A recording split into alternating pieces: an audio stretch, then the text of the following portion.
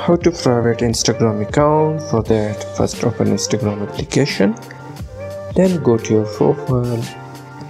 At right top corner three bar icon click on this and then click on settings.